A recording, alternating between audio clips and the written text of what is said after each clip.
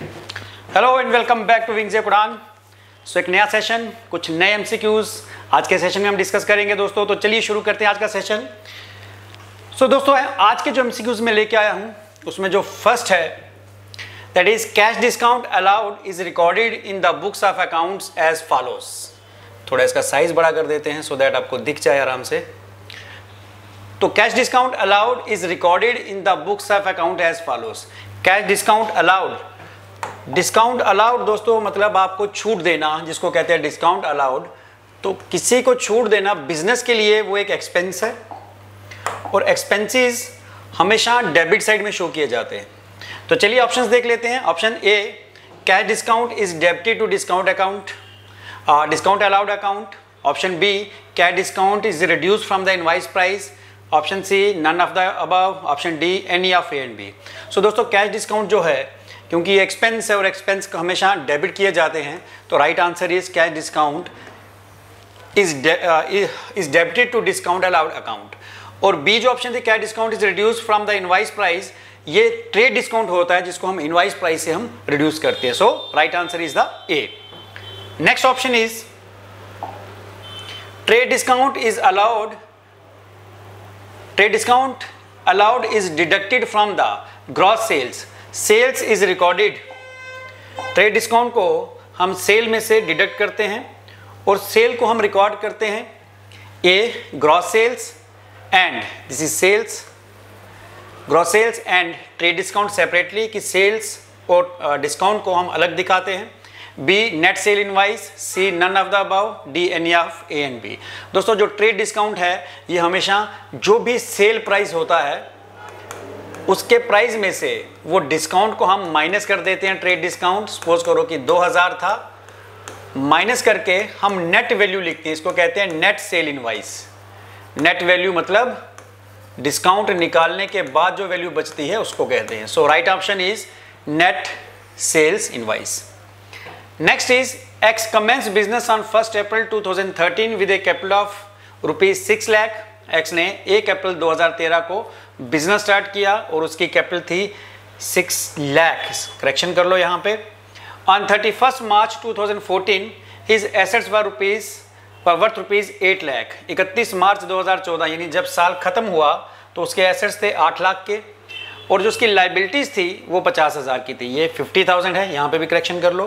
Find out is closing capital हमें closing capital निकालनी है। दोस्तों, आपको पता है अकाउंटेशन ने क्या कहा? है assets is equal to capital plus liabilities और ये जो कैपिटल लाइबिलिटीज निकलती हैं, साल के एंड की निकलती हैं। तो साल के एंड में उसके जो एसेट्स थे, वो थे आठ लाख के। और उसके पास साल के एंड की बात करेंगे तो लाइबिलिटीज थी पचास हज़ार की। तो आपको पता है अकाउंटिंग इक्वेशन में assets is equal to capital plus liabilities तो एसेट्स अगर आठ लाख के हैं और लाइबिलिटीज अगर पचास हज़ार की हैं इट मीन्स कैपिटल कितनी थी? सेवन लैख फिफ्टी थाउज़ेंड क्योंकि दोनों साइड्स बराबर हैं तो डिफरेंस करके आठ लाख में से फिफ्टी थाउज़ेंड का सेवन लाख फिफ्टी थाउज़ेंड बचा। ये इसकी क्लोजिंग कैपिटल है।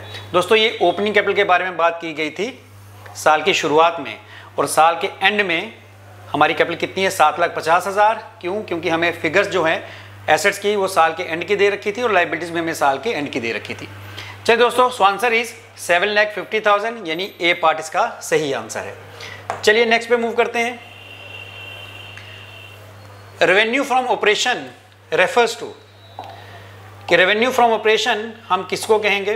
दोस्तों रेवेन्यू फ्रॉम ऑपरेशन मतलब आपकी जो ऑपरेटिंग एक्टिविटीज़ यानी जिस चीज़ का बिज़नेस कर रहे हो, वहाँ से आप जो पैसा कमाते हो, उसको कहते हैं रेवेन्यू फ्रॉम ऑपरेशन तो समझ लेते हैं इसके ऑप्शंस क्या क्या हैं? A revenue earn from operating activities यानी आपने अपनी ऑपरेटिंग एक्टिविटीज़ यानी जिस चीज़ का बिज़नेस कर रहे हो, जिस चीज़ को आप चला रहे हो उसको कहते हैं ऑपरेटिंग एक्टिविटीज़ वहाँ से जो पैसा कमाया B revenue earn from activities that are not operating activity यानी ऐसी एक्टिविटीज़ जो ऑपरेटिंग एक्टिविटीज़ नहीं है। C both and B and D none of the above दोस्तों क्वेश्चन में ही आंसर छुपा हुआ है। रेवेन्यू फ्रॉम ऑपरेशन कि आप जो बिज़नेस कर रहे हो, वहाँ से जो रेवेन्यू कमाया तो आंसर आपका ये रहेगा A revenue earn from operating activities चलिए A is the right answer next is identify the item of revenue from operation of non ये कंप्लीट नहीं है नॉन फाइनेंशियल एंटरप्राइज कि जो नॉन फाइनेंशियल एंटरप्राइज हैं दोस्तों नॉन फाइनेंशियल एंटरप्राइज वो होती हैं जो फाइनेंस का, यानी लोन का, जैसे कुछ बिज़नेस होते हैं जो लोन का लोन देने का काम करते हैं, बदले में क्या लेते हैं? इंटरेस्ट फॉर एग्जांपल बैंक हो गए, या जितने भी प्राइवेट फाइनेंशियल इंस्टीट्यूशन हैं, इनको कहते हैं फाइनेंशियल इंटरप्राइज लेकिन यहाँ पे बात कर रहे हैं हम नॉन फाइनेंशियल इंटरप्राइज की। तो नॉन फाइनेंशियल इंटरप्राइज कौन सी होंगी? वो इंटरप्राइज जो एटलीस्ट लोन देने का, यानी कर्ज देने का काम नहीं करते। तो क्वेश्चन में पूछा गया identify the item of revenue from operation of non financial enterprise कि जो नॉन फाइनेंशियल इंटरप्राइज हैं उनका रेवेन्यू आइटम कौन सी होगी? मतलब उनका कमाई का ज़रिया या मेन जो उनका सोर्स ऑफ़ इनकम है वो क्या रहता है? Option are interest on on loan ये गलत है क्योंकि इंटरेस्ट जो है फाइनेंशियल इंटरप्राइज जो है जो लोन का बिज़नेस करती है लोन देती है पब्लिक को वहाँ से जो पैसा आता है तो ये जो सोर्स ऑफ़ इनकम है उनके लिए है। डिविडेंड अर्न दो, दोस्तों डिविडेंड हमारी एक इन्वेस्टमेंट होती है शेयर्स में जब हम शेयर्स में कुछ पैसा इन्वेस्ट करते हैं बदले में हमें कुछ प्रॉफिट मिलता है उसको उसको डिविडेंड कहते हैं तो हमारी इन्वेस्टमेंट होती है। सी सेल ऑफ़ गुड्स तो नॉन फाइनेंशियल इंटरप्राइज में जो मेजर सोर्स ऑफ़ रेवेन्यू रहता है, वो रहता है कि हम गुड्स जो बेचते हैं गुड्स की जो सेल करते हैं, उसमें से जो हमें पैसा आता है, उसको हम कहेंगे मेन आइटम ऑफ़ रेवेन्यू की मेन जो हमारा source of revenue so C is the right answer चलिए दोस्तों नेक्स्ट पे मूव करते हैं। Next is which of the following is not an internal users which of the following is not an internal user of अब इसमें से कौन सा है जो हमारी अकाउंटिंग इंफॉर्मेशन है, उनका इंटरनल यूज़र्स में नहीं आता। बोर्ड ऑफ़ डायरेक्टर्स दोस्तों, ये इंटरनल यूज़र्स में आते हैं। मैनेजर्स ये भी इंटरनल यूज़र हैं। एम्प्लॉयज़ ये भी इंटरनल यूज़र्स हैं। लेंडर्स लेंडर्स वो जो बिज़नेस को कर्ज देते हैं, वो बैंक्स भी हो सकते हैं, वो क्रेडिटर भी हो सकता है, जिससे हमने गुड्स खरीदी उधार में। तो ये हमारे इंटरनल सोर्स में नहीं आते so D is the right answer चलिए दोस्तों नेक्स्ट पे मूव करते हैं। Goods cost, goods costing rupees forty thousand are purchase हमने गुड्स कितने की खरीदी? चालीस हज़ार की हमने गुड्स खरीदी। चलिए of which goods costing rupees five thousand are return back इसमें से हमने पाँच हज़ार की गुड्स वापस कर दी तो जो वापस कर दी, वो आप माइनस कर दो। पाँच हज़ार की आपने गुड्स वापस कर दी। इसका मतलब आपके पास आप कितनी बची? थर्टी फाइव थाउज़ेंड की। उसके बाद कहता है, goods costing thirty thousand are sold. इसमें से भी आपने तीस हज़ार की गुड्स को बेच दिया। तो ये भी माइनस कर लो, क्योंकि ये गुड्स आपने बेच दी, अब बची कितनी? पाँच हज़ार की। तो आगे कहता है, goods costing rupees thirty thousand are sold, of which goods costing four thousand are return, जिसमें से चार हज़ार की गुड्स हमारे पास वापस आ गई। तो इसका मतलब जो हमारी सेल्स हमने की थी, उसमें से कुछ गुड्स चार हज़ार की वापस आ गई तो हमारा स्टॉक फिर से इंक्रीज हो जाएगा। तो कुल कितना हो गया? नौ हज़ार का। तो यही पूछा गया था what is the amount of closing stock तो ये हमारा क्या है? Closing stock. So right answer is D. चलिए दोस्तों नेक्स्ट पे मूव करते हैं next is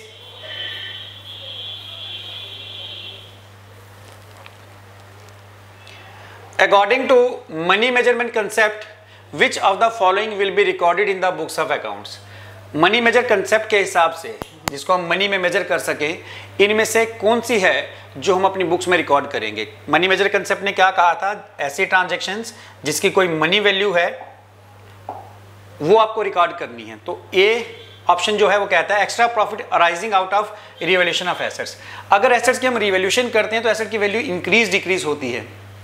उसकी कोई मनी वैल्यू नहीं है so this is the wrong answer commission payable to a salesman हमने जो सेल्समैन को कमीशन देनी है वो उसकी एक मनी वैल्यू है क्योंकि हमें पे करनी है in the form of cash तो right answer is B quality control ये भी, इसको भी हम मनी में मेजर नहीं कर सकते, ये भी गलत है और ऑल ऑफ़ दिस ये तो गलत है।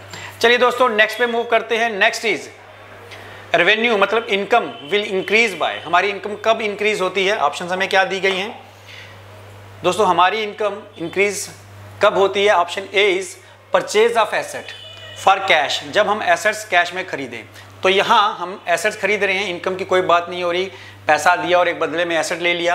रेंट पे टू लैंडलॉर्ड ये तो एक्सपेंस है, यहाँ तो एक्सपेंस इंक्रीज हो रहे हैं, ये भी गलत है। Selling the goods on profit हम गुड्स को अगर प्रॉफिट में बेचें तो जब हम गुड्स को प्रॉफिट पे बेचेंगे तो वो प्रॉफिट हमारी क्या होगी? इनकम होगी। So C is the right answer कि जब हम गुड्स को प्रॉफिट पे बेचेंगे, तब हमारी जो इनकम है या रेवेन्यू है, वो इंक्रीज होगा। चलिए दोस्तों नेक्स्ट पे मूव करते हैं। Sale F sale of an old asset on credit at a price greater than the return on value would be अगर हमने कोई ओल्ड एसेट बेचा, उधार में बेचा, और कितने में बेचा? उसकी जो रिटर्न डाउन वैल्यू थी।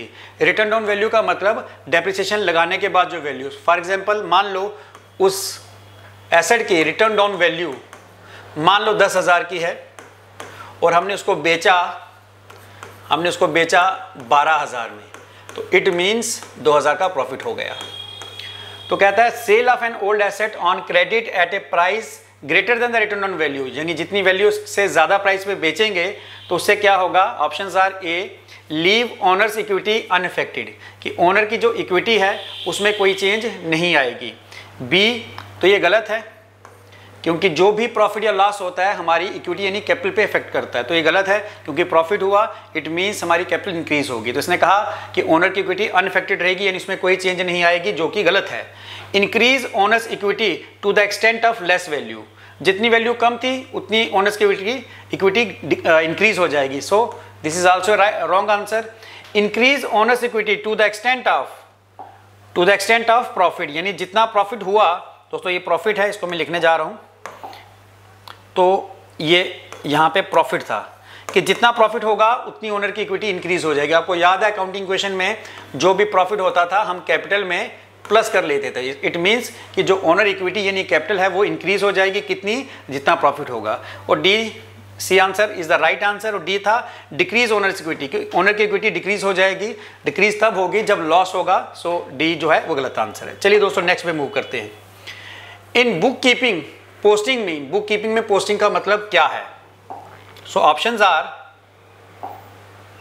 in book keeping posting means to record the transaction in the books of original entry कि ट्रांजेक्शन को बुक ऑफ़ ओरिजिनल एंट्री में रिकॉर्ड करना, दोस्तों बुक ऑफ़ ओरिजिनल एंट्री हो गई जर्नल बनाना। तो ये गलत है। Next is next is to to transfer the transaction from the books of original entry यानी जो हमने जर्नल बनाई, वहाँ से उसको ट्रांसफ़र करना, किसमें? पोस्टिंग इनटू लेजर उसी को कहते हैं ट्रांसफ़र करना लेजर्स में। तो B is the right answer कि transfer the transaction from the books of original entry यानी जर्नल से इसको ट्रांसफ़र करके लेजर बनाना, इसी को हम क्या कहेंगे? Posting so B is the right answer चलिए नेक्स्ट पे मूव करते हैं। Next is the payment of rupees one hundred to Azad transporter. हमने आज़ाद ट्रांसपोर्टर को हंड्रेड रुपीज़ की पेमेंट की। For bringing machine to our factory should be debited to. दोस्तों, ये मैंने पहले भी बताया था कि फिक्स एसेट की परचेज पे कोई भी खर्चा आएगा, वो फिक्स एसेट की कॉस्ट में जुड़ेगा। और जब फिक्स एसेट की कॉस्ट में जुड़ गया, वो हमारा कैपिटल एक्सपेंचर हो गया। तो कैपिटल एक्सपेंचर अलग से शो नहीं किए जाते, सिंपली उस एसेट के अकाउंट को ही डेबिट किया जाएगा, जिसके ऊपर वो खर्च आया था। तो यहाँ कहा wages of workman sorry A payment of rupees one hundred to Azad transporter for bringing machine to our factory Azad transporter को हमने आ, कुछ पेमेंट की हमारी मशीन को फैक्ट्री फैक्ट्री तक लाने के लिए। तो उसमें हम किसको डेबिट करेंगे? आज़ाद ट्रांसपोर्टर गलत है। कैरीज इनवर्ड गलत है। Machine account is the right answer क्योंकि मैंने कहा फिक्स एसेट पे कोई भी खर्च आएगा। हम उस एक्सपेंस को डेबिट नहीं करेंगे। हम उस एसेट के अकाउंट को ही डेबिट कर देंगे। So machine is the right answer चलिए दोस्तों next cheese wages of workman employed for setting up new machinery should be debited to ये भी सेम क्वेश्चन है दोस्तों, कि अगर हमने वर्कमैन की वेजेस दी किसी न्यू मशीनरी को इंस्टॉल करने के लिए सेट करने के लिए तो किसको डेबिट करेंगे? अगेन अभी बताया, कभी भी किसी एसेट पे फिक्स एसेट पे जो खर्च आएगा, हमेशा उस एसेट को ही डेबिट किया जाएगा। तो इन दिस केस आल्सो हमारा आंसर क्या रहेगा? मशीनरी अकाउंट चलिए जी नेक्स्ट पे बातें हैं। Left side of asset account is for asset account जो हम बनाते हैं एसेट का जो अकाउंट हम बनाते हैं, उसके लेफ़्ट साइड में, ये आपका एसेट अकाउंट है। इसकी जो लेफ़्ट साइड है, यानी डेबिट साइड ये किसके लिए होती है? Left side of asset account is for आपको पता है कि assets always has debit balance कि उसकी जब भी एसेट्स की वैल्यू इंक्रीज होती है तो लेफ़्ट साइड में लिखी जाती है। तो रिकॉर्डिंग डिक्रीज गलत। रिकॉर्डिंग इंक्रीज तो यही मैंने कहा कि एसेट्स का हमेशा डेबिट बैलेंस होता है और जब भी एसेट्स इंक्रीज होते हैं तो लेफ़्ट साइड में उसके जो रिकॉर्डिंग है, वो की जाती है। तो रिकॉर्डिंग इंक्रीज यानी लेफ़्ट साइड जो होती है, वो एसेट्स की इंक्रीज रिकॉर्ड करने के लिए यूज़ की जाती है। चलिए दोस्तों next is right side of asset account is for तो ठीक है, इसका उलट हो जाएगा। राइट right साइड में एसेट की, हम एसेट्स की डिक्रीज रिकॉर्ड करते हैं। So answer will be recording decrease